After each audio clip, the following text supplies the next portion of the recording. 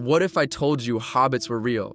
Not the kind with magic rings or second breakfasts, but actual tiny humans no taller than an eight year old who walked upright, hunted prey, and built tools. And they didn't live in fairy tales, they lived on a remote Indonesian island just 50,000 years ago. This is the real story of Homo floresiensis, the smallest human species ever. It all started in 2003 inside a limestone cave on the remote Indonesian island of Flores. A team of Australian and Indonesian archaeologists discovered something unbelievable. Buried in the cave floor was a nearly complete skeleton of an adult human. But this was no ordinary skeleton. It was barely a meter tall with a skull the size of a grapefruit. They called her LB1 but the world came to know her by another name, the Hobbit. What followed was one of the most astonishing scientific debates of the 21st century. Had we just discovered an ancient human with a medical condition or a completely unknown species? As more bones emerged from the cave, at least 15 individuals in total, it became clear these weren't diseased modern humans. They were something else entirely. Enter Homo floresiensis a distant cousin in the human family tree. Just 3 foot 6 inches tall with long arms, flat feet, no chin, and brow ridges that made them look primitive. But here's the twist. They weren't just tiny versions of us. They were radically different. Their shoulder joints, feet, and even their wrist bones were more like ancient hominins than Homo sapiens. Their brains were tiny, about 380 cubic centimeters. That's smaller than a chimpanzee's, and yet they used fire, crafted stone tools, and hunted giant animals. Clearly, size wasn't everything. How does a human species get that small? The answer lies in something called island dwarfism, or insular dwarfism, a well documented evolutionary phenomenon. When large mammals become isolated on islands with limited food and space, natural selection favors smaller body sizes Less body means fewer calories needed. And Homo floresiensis wasn't alone.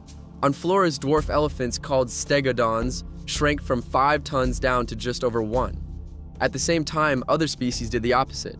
Rats grew to the size of rabbits, a massive carnivorous stork stalked the forest. And Komodo dragons, descendants of larger mainland reptiles, remained apex predators. This island was a crucible of evolution, a place where big became small, small became big, and humans adapted to survive. But here's a mystery that still puzzles scientists. How did these hobbits get to Flores in the first place? The island was never connected to the mainland. Even during ice ages, deep ocean trenches kept it isolated. That means someone had to cross the sea. Did their ancestors raft here, accidentally drift during a storm, Either way, it suggests cognitive skills we never imagined for early humans. Some researchers argue they descended from Homo erectus, an early human known for spreading far and wide.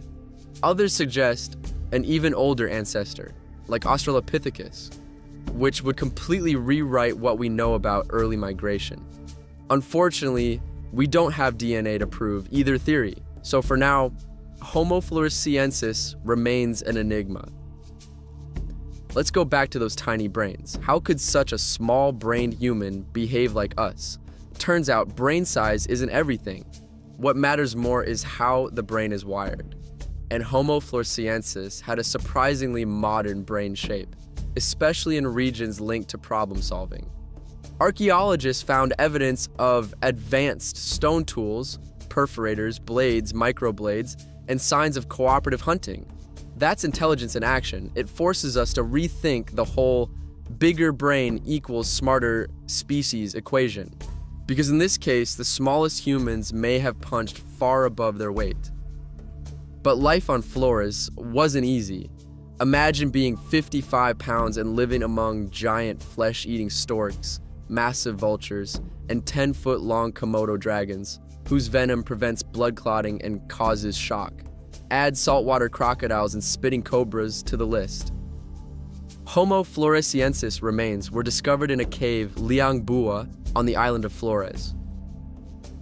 That doesn't prove they lived primarily in caves, but it strongly suggests they used them for shelter. at least part of the time. These dark, humid spaces carved into limestone cliffs may have offered safety, a buffer between them and the relentless dangers outside. The entrances could be hidden, scents obscured, and fires controlled to avoid detection by predators. They may have used smoke to keep out insects and stacked rocks to block off passages. Inside, they likely slept in groups, perhaps not a permanent home, but a refuge when the forest became too risky. Flores was a place where time moved differently, a realm sealed off from the wider world. And in that surreal environment, Homo floresiensis endured. Not for a generation, not for a few centuries, but for nearly a million years. They hunted, scavenged, and raised young in the shadows of giants. They adapted to heat, hunger, and horror, and somehow made it work.